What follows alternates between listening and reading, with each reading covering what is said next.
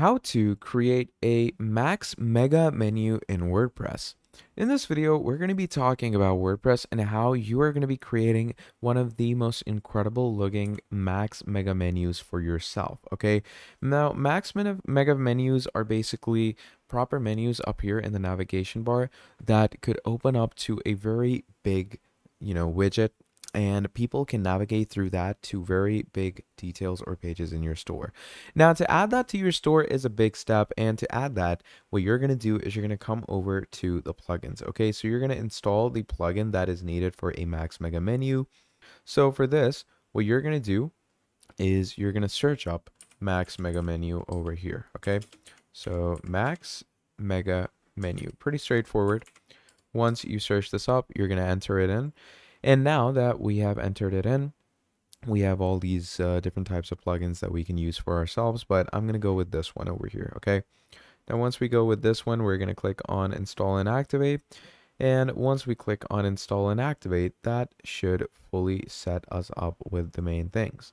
So once you've gone with this, we're going to click on back to plugins.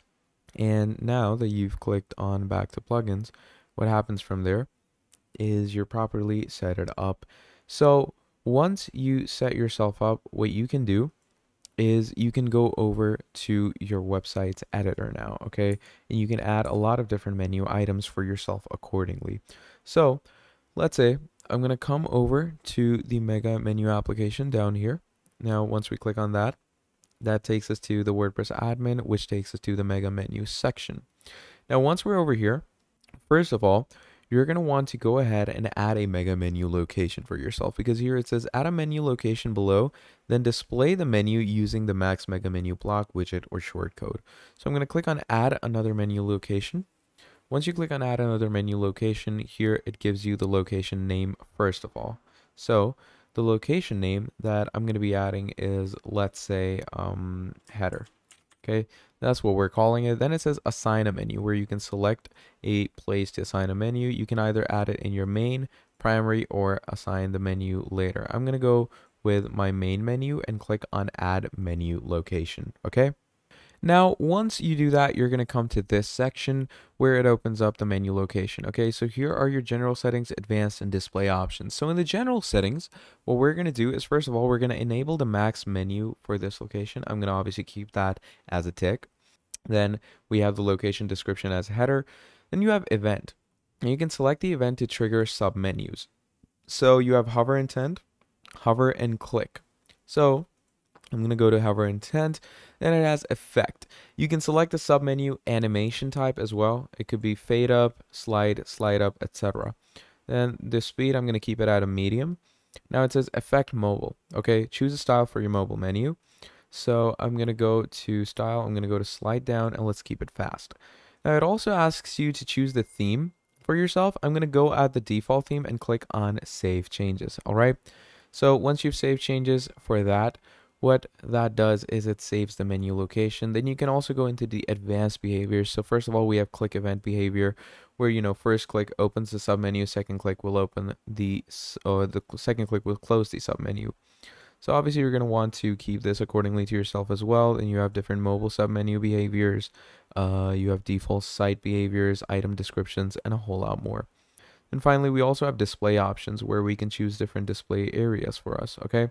So add the max mega menu and a whole lot more. So once we've gone through that, I'm going to click on save changes. And once we click on save changes, you know, we're good with the actual menu recurring locations. Now moving on, you have menu themes. Okay, so you can actually set a different styled theme for your menu by adding different variations in it and adding different features in it. All right, so to add different variations in it, what you are going to be doing is first of all, you're going to give your theme a title. Okay, I'm going to keep it at default right now. And it says, you know, arrows. What are the arrow styles you want? I'm going to keep the arrow styles like this as well, or you can change it accordingly. Let's say I want it like this, all right? Then it says line height. Now these are things that you can set obviously accordingly with your editor's reference. So you can, you know, slowly go to your editor, check things out. If everything looks good, come back to this section and go on ahead and edit more. Then we have things like shadow where you can apply shadows to mega and flyout menus. I'm going to go ahead and apply that because, you know, generally it looks pretty good. and you can keep the actual dimensions to the shadows as well. And once you've done this, you're going to click on save. Then we have other settings as well. So first of all, we have menu bar. You can choose a menu background for yourself. So let's say I'm going to go with a darker maroon color and I'm going to switch it to black. You can add menu paddings, which basically differentiates your width. Okay, it differentiates how off your menu is from the actual section header and uh, a whole lot more. Then moving on, set borders. You can keep your item fonts. You can keep a hover option accordingly if you want. You can also go to mega menus main section.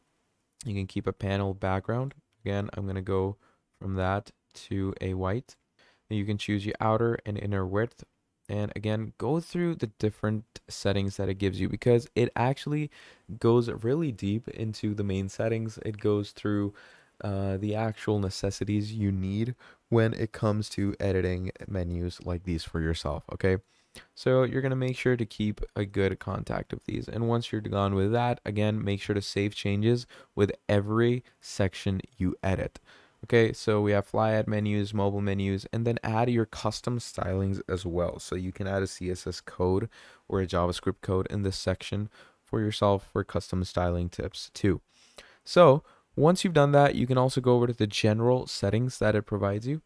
Now the general setting is, do you want CSS output? Basically, which saves your CSS content to the actual file system. Now for this, you will need the Pro extension. Okay, Max Mega Menu has a free extension that obviously we have, and then a Pro extension for which you're going to need to come here to upgrade to Pro if you want to. But I'm going to skip that. We're also going to move over to Tools.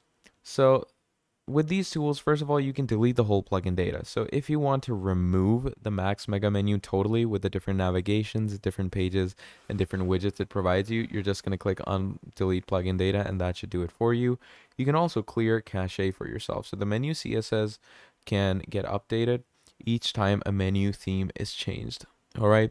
So you're going to want to clear CSS cache if your menu gets slow. Okay. And once you have done all of this and you've added the correct menu locations, what this does is it saves everything in. And now what you can do is you can go over to your store's editor. So let's say I'm going to come to this section over here. And in this section over here, as we can see, we don't have a mega menu yet. Okay. So to add a mega menu for yourself, what you can do is you can switch from the site viewer to the actual site editor. And once you're in the site editor, from there, what you can move over and do is basically go into your editor from here. And you can change the necessary settings that you want to mess with through the site editor and the actual navigation editor. So if you come over to navigation, you can create these different mega menus by dropping and dragging things right under your lists. Okay. So you can choose how your menu displays things. Okay, so just like this, you can create a drop down. So if someone clicks on this, you're going to see that a drop down is initiated from here. And just like this, you can add your mega menu through the menu section. So let me go over back to my main WordPress page. And in your main WordPress dashboard section, again, we're going to go to appearance, we're going to go to menus. And once we go to menus, you're going to make sure that your mega menu header location is included. Okay, so here we can see this is included over here. We're going to click on save and we have the menu settings over here as well. We're going to click on save menu again. And obviously the menu name is called main. So you can also finally go ahead and check for its locations recurrently if you want to. So it's in the header called the main. And once this is done, again, what you can do is you can go into the viewing of your website. And once you go into the viewing of your website, it takes a few seconds to load in. But once you have your main menu portrayed over here, that should automatically add a mega menu straight into your page straight away. So that is pretty much all there is when it comes to adding a Max Mega menu in your WordPress in the easiest way. So if you enjoyed this video, please do make sure to drop down a like and subscribe to the channel. And if you want to see more videos like this in the future, let me know down in the comments below and I'll be making a whole lot more for you. Till then, that is all from me, and I'll be seeing all of you in the next video. Have a great day. Goodbye.